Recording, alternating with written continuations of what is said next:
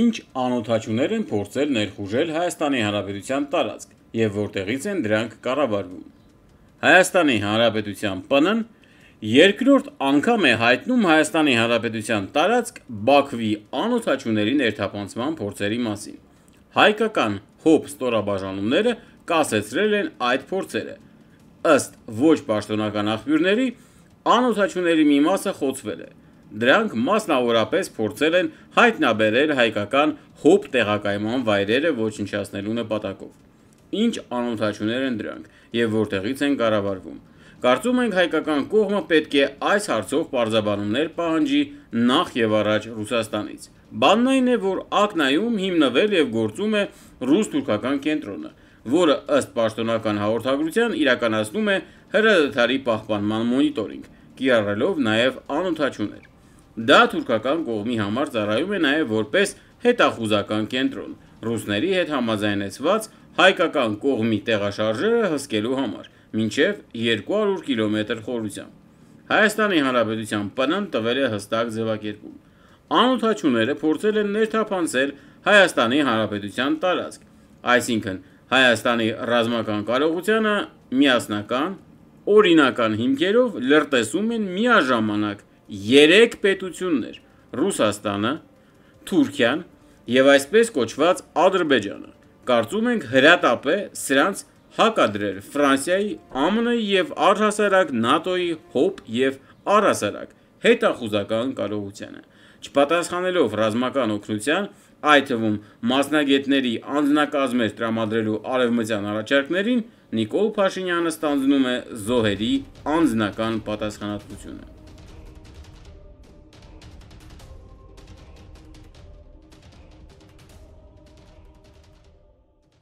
Իշխանատենչ դավաճանների երկիր Հայաստանս, ռևանշիստ ներքին դավաճաններ, իմ հոգսը դուք չեք, մեր հրաշք երկիրն է ափսոս։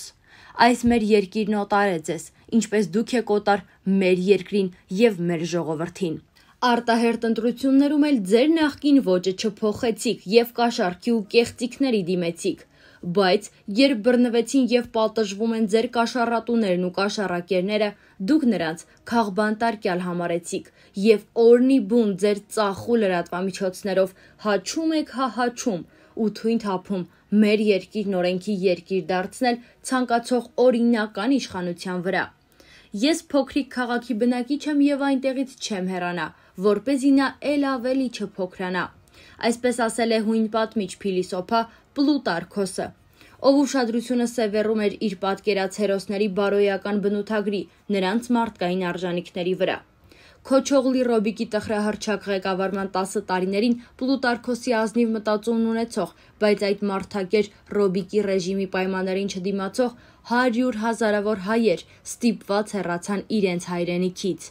Պլուտարքոսին հիշեցի, որովհետև Հայաստան դաշինքի հանցագործ ղեկավար Կարիճ Ռոբն ու նրանից պակաս ոչ պակաս բոլոր ժամանակներին հող վաճառող Հայաստանի ներքին թշնամի դաշնակները Հանցագործ Ռոբիկին վերստին ղեկավար կարգել ցանկացող հայադավ ուրիշ ստրուկները չունեն այդ ազնիվ փիլիսոփայի մտածումը, չունեն հայրենիքի զգացողությունը եւ շարունակում են մեր երկիրը ներսից քայքայել։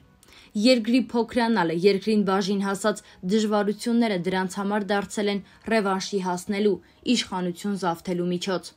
Լինելով մեր երկրին ու մեր ժողովրդին թշնամի եւ դավաճան, դրանք իրենց բազմաթիվ մեդիա կայքերով, հերոստատեսություններով փորձում են ստվեր գցել իշխանության ջանքերի վրա որը պայքարում է եւ արտաքին եւ ներքին թշնամիների դեմ։ Հերոստատեսության եւ ռադիոյի հանձնաժողովի դավաճան ղեկավարի նույնքան դավաճան անդամների կողմից արտոնած կայքերն ու դրանցում աշխատող ծախու լրագրողները Քոչողլի Ռոբիկի շռայլած փողերով շարունակում են արատավորել ժուրնալիստի բարի անվանումը։ Այնինչ կարքին ժուրնալիստը նախ իր երկրի շահերի պաշտպանը պիտի լինի, ոչ թե հանցագործի, ոչ թե իրենց երկիրը կեղծիքներով ոտք դրած եւ այդ երկրում սպանություններն ու թալան կատարած տահակին։ Միթե ամբաստանյալի կողմից իրենց շպրտած այդ գրոշներն ավելի արժեն, քան ժուրնալիստի բարի անունն ու հայրենիքի զգացողությունը։ Եթե սրանց էլ գումարենք ժուրնալիստների միություն կոչված Չաթո Սաթոյի դուքանը, ապա փողին ղուրբան տվող ստորակարշերի բանակը կհամալրվի։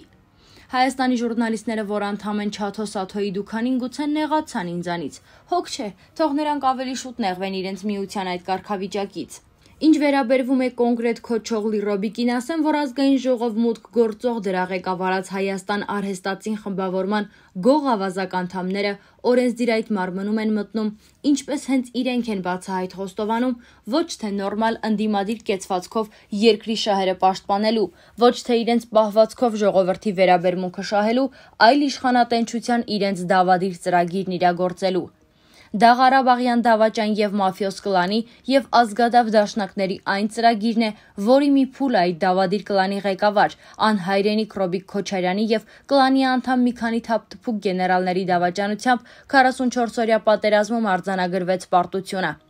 Դրա շարունակությունը պիտի լիներ Հայաստանում իշխանության զավթումը։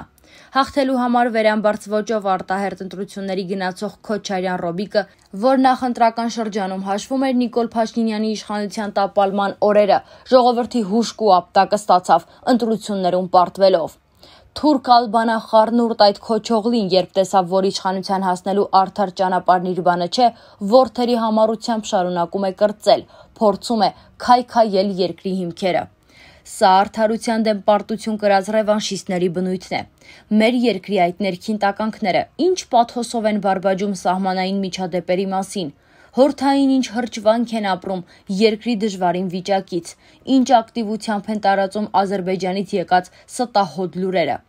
Երկրի ցավերին անտարբեր նրանց այդ պահվածքը մարդկային բարոյականության ոչ մի նորմի մեջ չի տեղավորվում։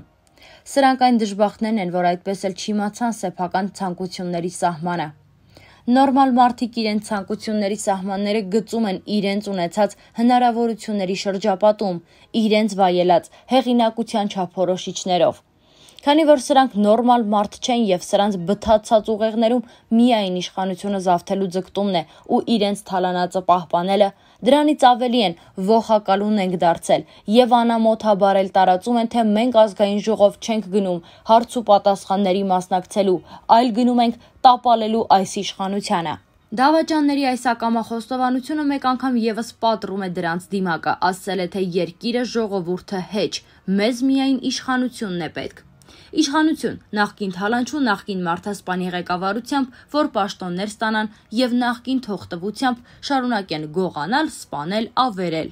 Հիմա պահն է. հրամայական պահը, որ մեր սիրելի ժողովուրդը, մեր զտարյուն հայերը համախմբված եւ միակամ ստորացնեն դրանց, ինչպես ընտրություններում ստորացրին, ձայներ չտալով ստորացնեն ու մեկ առ մեկ քարշ տան դեպի իրավական դաշտ, որ դրանց գրփածը, դրանց թալանածը վերադառնա երկրին եւ ժողովրդին։ Դրանք երկիրը ներսից քանդող այդ ներքին թշնամիները կարծում են, թե արդեն պատսպարվել են падգամավորի անձեռմխելիության պատնեշով բայց չեն գիտակցում, որ ազգային պետական շահի դեմ արդարության դեմ իրենց երևակայած այդ պատնեշը շատ արագ փուլ է գալու։ Դրանք իշխանատենջ այդ վրիժարու ռևանշիստները այն խառնաշփոթ գլուխներից են, որոնք պղտորում են ջուրը եւ իրենց կեղտոտած ջրում առայժմ իրենց լավ են զգում։ Ասում եմ առայժմ, որովհետև հատուցման պահը չի կարելի բաց թողնել եւ մեր երկիրն ու ժողովրդին օր առաջ պետք է ազատել այդ մոլախոտերից։ Դրանց պատիժը չի կարելի հետաձգել, որովհետև ինչպես Դաստայևսկին է բնորոշում դրանց նմաններին, ստոր հոգին, ճնշման տակից դուրս գալով ինքն է սկսում ճնշել։ Դրա առաջն առնել է պետք եւ դա համոզված եմ կարվի մեր ժողովրդի միակամությամբ, հավաքական ուժով եւ դրանց ճուգուն է գլխին վաղ թե ուշ իջնելու են Պողպատե մանդատի օրինական հարվածները։ Գրառումը կատարել էր Ալիս Սողոմոնյանը իր Facebook-յան էջում։